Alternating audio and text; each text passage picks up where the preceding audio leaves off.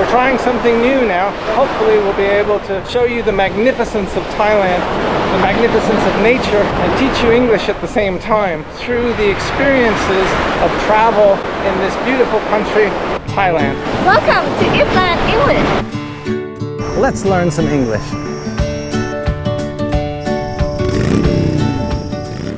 The first distinctly different thing that we'd like to share with you in this episode is a relatively rare weather phenomenon.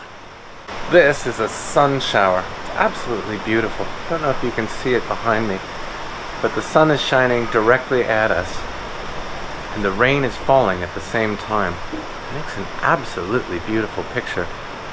A sun shower. The sun is shining and it's raining at the same time.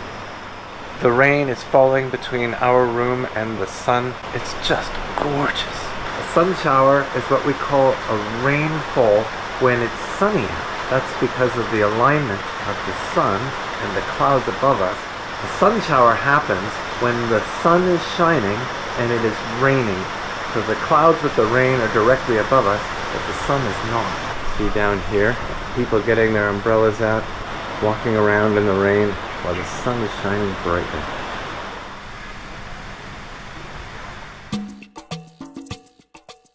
After the sun shower, we took a walk in the opposite direction to that which was our norm.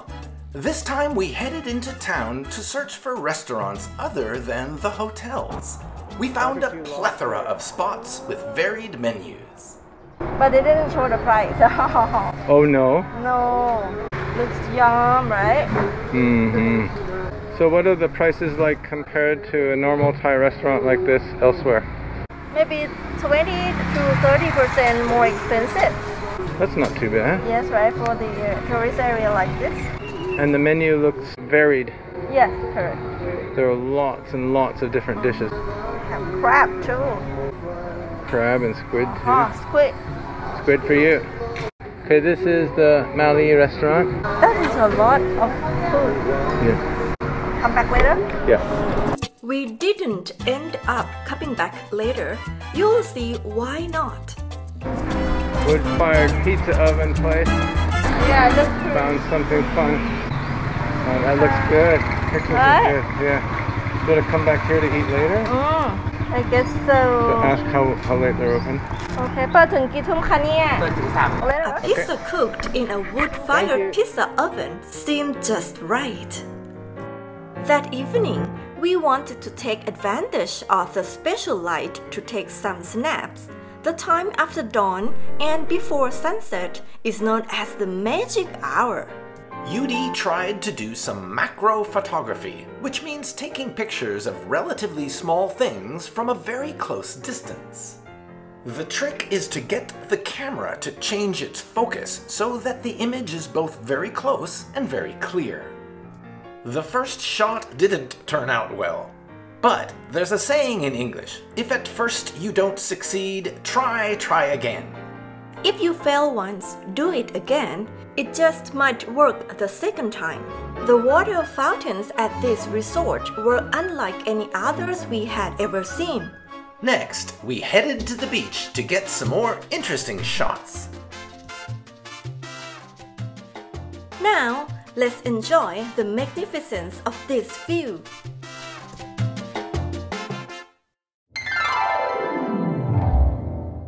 Yeah, you're still tiny in the frame. I'm really close to you. Tiny in the frame, but this is a really cool shot. The word zoom is often used with regard to changing the lens, but I was doing everything manually with this camera. I just walked closer to her. Next came the dolly shot, which is normally done with a tram on rails for the camera. However, with this camera, all I had to do was walk alongside Yudi. This was a low budget shoot. For contrast, and so that you can see the difference between shooting from different angles and lighting conditions, we shot the same scene from the opposite angle. Notice how much brighter the picture is. This is because the light from the setting sun is bouncing back off the subject, in this case teacher Yudi, and entering the lens of the camera. This is our chilling out holiday. Watching these people launch their kayak into the water inspired us to do the same. We'll share more about that in our next episode. As for this evening, we were thwarted by oncoming weather conditions, so we had to head back. We wish we could spend a longer time here. Unfortunately, it is raining. Can you hear the storm? Show them the sky a little bit. Yeah, it's definitely raining now. Well, where are we going? We were going to go kayaking, but now it's started to rain pretty hard. And who knows, lightning might come soon. So we're going to be safe, go inside, or possibly Go to the pizzeria. Yay! We're going to go to one of the wood-fired oven pizzerias. There are at least three in this area.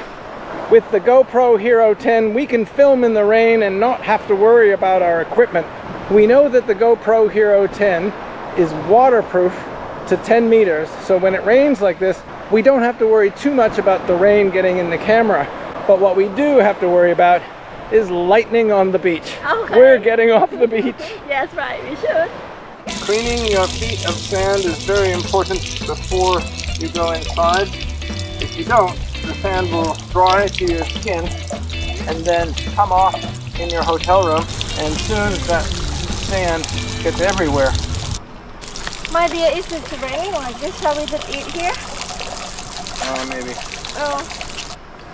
We are here at Ramada restaurant. We have to change our plans because It's raining on the beach. We were going to take a long walk on the beach and then go to a wood-fired pizzeria.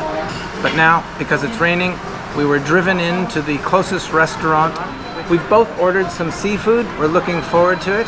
I have ordered chili fried salt shrimp. Looking forward to that. Thank you very much. Okay. And the dish I ordered was deep fried fish. The waiter has just come with three things. We have a virgin pina colada each and a bowl of fresh peanuts. Cheers! Cheers! Something. I'm about to try my virgin colada, which is basically a pina colada without any alcohol. Neither of us drink alcohol, so we always get virgin cocktails. Here we go.